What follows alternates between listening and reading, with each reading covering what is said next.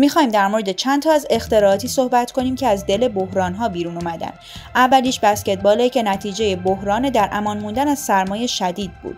دکتر جیمز نایسمیت مربی ورزش در سال 1891 بازی بسکتبال رو اختراع کرد تا دانشجوهاش تو سالن بازی کنن و از سرما در امان باشن. توی اون سالها انگلیس با سرمایه استخوانسوزی دست و پنجه نرم می‌کرد که توی تاریخ کمتر بهش اشاره شده. البته شاگردان نایسمیت به مدت سه سال با توپ فوتبال بسکتبال بازی می‌کردن. سپس تو سال 1894 در بحبوحه رکود اقتصادی نایسمیت از آلبرت سپالدینگ که قهرمان بیسبال و مبتکر کالاهای ورزشی بود خواست یک توپ مخصوص برای این بازی جدید طراحی کنه. با کمی تغییر توپ بسکتبال فعلی همون توپ سپالدینگه که مورد استفاده قرار می‌گیره. برای تماشای ادامه این ویدیو و ویدیوهای بیشتر channel یوتیوب ما رو subscribe کنید. چای کیسه ای دومین اختراعی که می‌خوایم در موردش صحبت کنیم که در بحران جنگ جهانی اول ابداع شد. توی سال 1908 وارد کننده چای و قهوه توماس سالیوان با استفاده از ترفند بازاریابی کیسه های ابریشمی چای رو برای مشتریاش فرستاد. مشتریاش به جای اینکه کیسه رو باز کنن و چای رو دم کنن کیسه رو تو آب جوش انداختن. این ایده با استقبال زیادی همراه شد اما به دلیل زخیم بودن پارچه چای دم نمی‌کشید. یک دهه بعد در طول جنگ شرکت آلمانی به نام تیکان این ایده رو با استفاده از الیاف پنبه‌ای عملی کرد و کیسه چای مدرن به وجود اومد.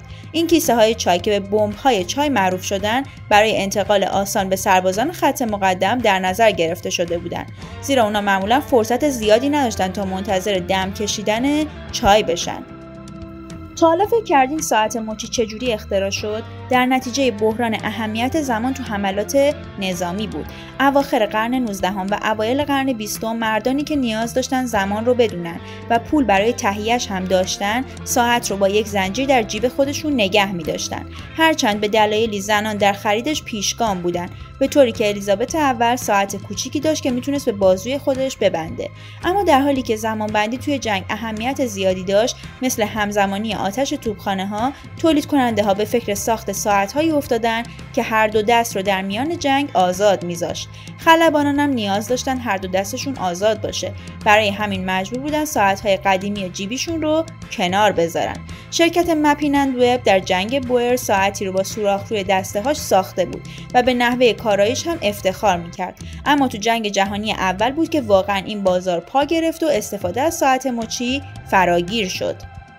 مسئله بعدی که می‌خوایم در موردش صحبت کنیم ای هست که در نتیجه بحران آنفولانزای اسپانیایی بهش توجه شد. همهگیری آنفولانزای اسپانیایی در مقایسه با بسیاری از بحرانهای جهانی باعث کشته شدن تعداد بیشتری از مردم شد و تو سال 1918 در سراسر جهان صدمات شدیدی رو وارد آورد. در پی شیوع این بیماری باکتری شناس انگلیسی فرد گریفیت به دنبال تولید واکسن بود و تو سال 1928 اولین آزمایش رو انجام داد که نشون می‌داد باکتری ها قادر به انتقال اطلاعات ژنتیکی هستند. سالها بعد آزمایش گریفیت الهام بخش پژوهشگر مؤسسه راکفلر اسوالد ایوری بود. اون سرپرستی تیمی رو بر عهده داشت که در سال 1944 کشف کردن دی ای کد ژنتیکی داره. اختراع بعدی سوسیس گیاهیه که در نتیجه بحران کمبود گوش در آلمان به وجود اومد. کنراد آدناور اولین صدر اعظم آلمان بعد از جنگ جهانی دوم سوسیس گیاه سویا رو اختراع کرد. تو جنگ جهانی اول زمانی که آلمان در محاصره انگلیس بود، آدناور شهردار کلن بود و گرسنگی توی این شهر بیداد می‌کرد. اون ذهنی مبتکر و خلاق داشت و به دنبال راههایی بود تا موادی رو که در دسترس بودن جایگزین اقلام کمیابی مثل گوشت کنه.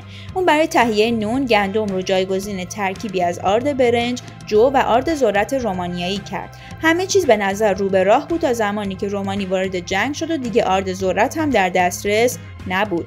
اون با تجربه ای که از تهیه نون به دست آورده بود به دنبال تهیه سوسیسی جدید رفت و سویا به عنوان مواد اولیه سوسیس بدون گوشت به ذهنش خطور کرد. این محصول بعدها به سوسیس صلح معروف شد.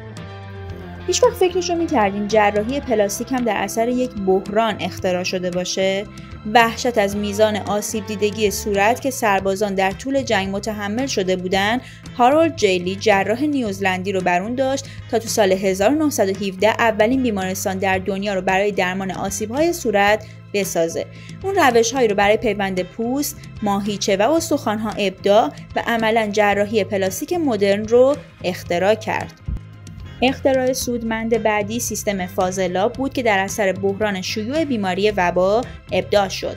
تو اواسط قرن 19 هم لندن از همهگیری های مکرر بیماری وبا رنج می برد.